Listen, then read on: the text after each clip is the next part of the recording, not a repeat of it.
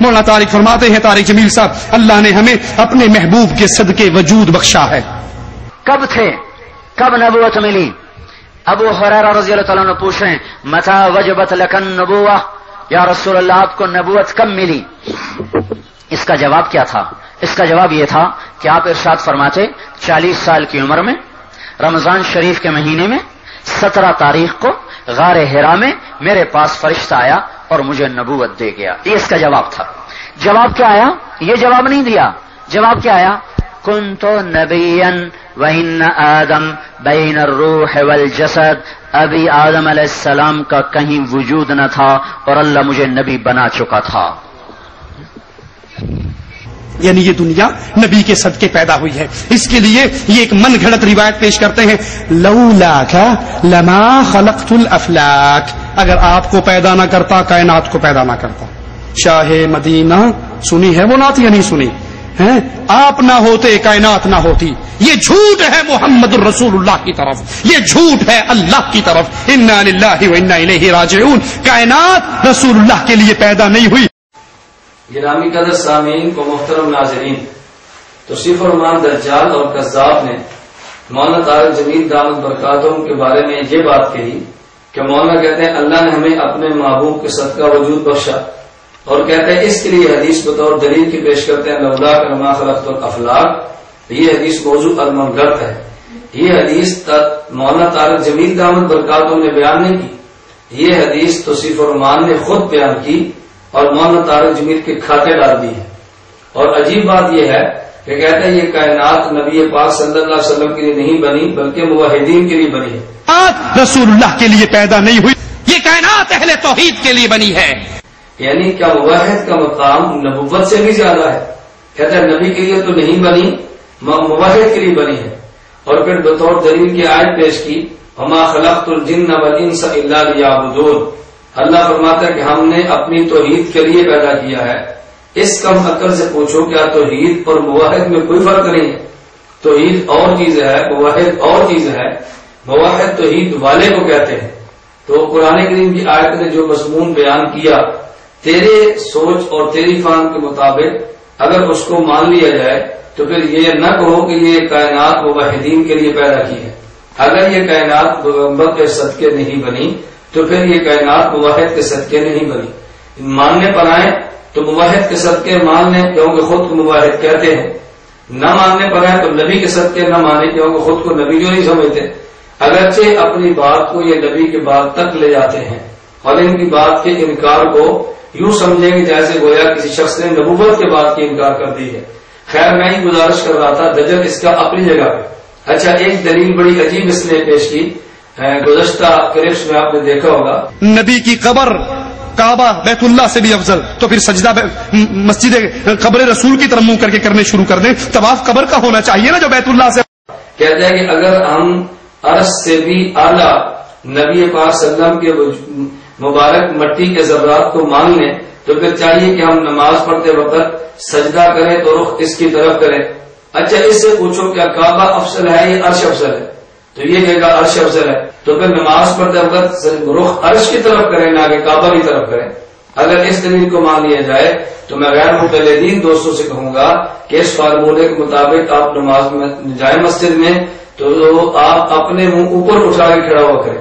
کوئی پوچھے گی کیوں منہ اوپر اٹھاتے ہیں؟ آپ کو شیخ شیخ تصیف الرحمان نے ہمیں دلیل دی ہے کہ جو مکان افضل اس کی طرف منہ اٹھا کے نماز پڑھنی چاہیے۔ ہم چونکہ عرش کو کعبہ سے افضل مانتے ہیں، لہذا منہ عرش کی طرف اٹھا کر پڑھتے ہیں۔ تاکہ کامل غیر مقلد ہونا تمہیں دیکھنے سے آدمی کو اچھی طرح محسوس ہو جائے۔ خیر، اس نے کہا کہ لولا کا نما خلقت الافلاق، یہ حدیث مبارک موضوع ہے جس کا سہارا ہم دیتے ہیں۔ جبکہ علماء دیوبند اس حدیث کو بطور دل قتل پیش نہیں کرتے۔ یہ الگ بات ہے کہ نبی کریم صلی اللہ علیہ وسلم کے سے سے صنعت کے ساتھ حدیث میں موجود ہے کہ نبی پاک صلی اللہ علیہ وسلم نے اس حدیث مبارک کو بیان فرمایا۔ اس وقت میرے ہاتھ میں امام ابو عبداللہ حاکم نیسا پوری کی کتاب المستدرک الصحیح ہے جلد نمبر دو، صفحہ نمبر چھ سو بہتر پہ امام حاکم کی شاعت فرماتے ہیں کہ نبی کریم صلی اللہ علیہ وسلم نے فرمایا اور حدیث قدسی کو بیان کیا۔ فرمایا علی بن عباس رضی اللہ عنہما قال اوح اللہ الى عیسیٰ علیہ السلام۔ اللہ رب العزت عیسیٰ علیہ السلام پر وہی نازل فرمائی، فرمایا، یا عیسیٰ آمن بھی محمد اے عیسیٰ، نبی پاک، حضرت محمد صلی اللہ علیہ وسلم پر ایمان لاؤ۔ آگے فرمایا، فلولا محمد ما خلقت آدم۔ اگر میں محمد صلی اللہ علیہ وسلم کو وجود نہ دیتا، حضرت آدم کو وجود نہ دیتا، فلولا محمد ما خلقت الجنت والنار اور اگر میں حضرت محمد صلی اللہ علیہ وسلم کو وجود نہ دیتا، تو جنت اور جہنم کو وجود نہ دیتا۔ تو حدیث، لولا کا نما خلقت الاخلاق، جو ہم نے پیش نہیں کی، تو اس کو جناب نے موضوع کہا۔ اور جو حدیث امام حاکم بیان کرتے ہیں، آپ اس حدیث کو ذرا موضوع فرما دیں تاکہ ہم یہ دیکھیں امام حاکم کا وسط مطالعہ ہے یا جناب احادیث کا ذوق زیادہ رکھتے ہیں۔ اگلی بات یہ ذہن نشین فرما دیں کہ یہ حدیث مبارک، لولا محمد ما خلقت الدنیا ما خلقت الجنت والنار یہ حدیث مبارک قرآن کریم کی آیت کے خلاف نہیں۔ میں ایک موٹی سی مثال دے کر اس عقیدے کو یوں سمجھاتا ہوں اگر ایک جگہ پر مثلا میں نے بیان کیا ہے، بیان کے بعد اسی فرمان کھڑا ہوگا، اور یہ اسی فرمان ہمارے سامنے کالج کے اسٹوڈنٹ سے پوچھے کہ بتاؤ کون ریاض محمد صاحب، آج یہاں بیان کے لیے کیوں آئے تھے؟ وہ لڑکا کہے گا جی بیان اور تقریر کرنے کے لیے آئے تھے۔ یہ اسی فرمان امت میں فتنہ اور شرک ڈالنے کے لیے اور امت میں بگاڑ پیدا کرنے کے لیے میرے پاس کمرے میں اگر پوچھے کہ مولانا آپ یہاں پر کیوں آئے؟ تو میں کہوں بھی اس مسجد کے جو امام ہیں مثلا بھائی بشیر ان کا نام ہے، مولانا بشیر نے مجھے دعوت دی اور ان کی دعوت پر میں آیا ہوں، تو یہ باہر جا کر کھپ ڈال دے گا کہ دیکھو مولانا کچھ اور کہتے ہیں اور ان کے سامنے کچھ اور کہتے ہیں۔ میں اسی فرمان سے پکڑ کے پوچھتا ہوں کہ بھائی کس بات کی جو کھپ ڈالتا ہے، رولا کیا ہے؟ وہ کہتے جی آپ نے کہا کہ مجھے مولانا نے دعوت دی، میں اس لیے آیا اور آپ کے سامنے کہتے بیان کرنا تو اس لیے آئے، تم دونوں کے بیان نہیں ملتے۔ میں اس سے کہوں گا، کم عقل انسان جب میرے سامنے سے تم نے پوچھا مولانا کیوں آئے، اس نے میرے آنے کا مقصد بیان کیا کہ بیان کے لیے آئے۔ جب مجھ سے پوچھا آپ کیوں آئے، تو میں نے آنے کا سبب بیان کیا کہ فلاں میزبان کی دعوت کی وجہ سے آیا۔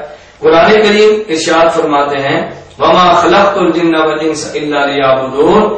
اللہ رب العزت کے ارشاد قرآن کریم میں کہ میں نے جن و انس کو عبادت کے لیے پیدا کیا، اس میں پیدائش کا مقصد بیان کیا ہے۔ لولا محمد لما خلقت الجنت والنار. اس میں نبی پاک صلی اللہ علیہ وسلم نے پیدائش کا سبب بیان کیا ہے، سبب اور ہوتا ہے اور مقصد اور ہوتا ہے۔ گرامی قدر سامعین و محترم ناظرین، جو مقصد اور سبب میں فرق نہ کر سکے، بتائیں اس شخص کے بارے میں آپ کیا رائے قائم کریں گے؟ یہ عالم ہے یا جاہل؟ ہے جاہل ہو کر علماء کے خلاف زبان درازی کرنا، یہ توصیف فرمان جیسے دجال اور کذاب ہی کا کام ہے۔ اللہ اس کے شر سے امت کو محفوظ رکھے۔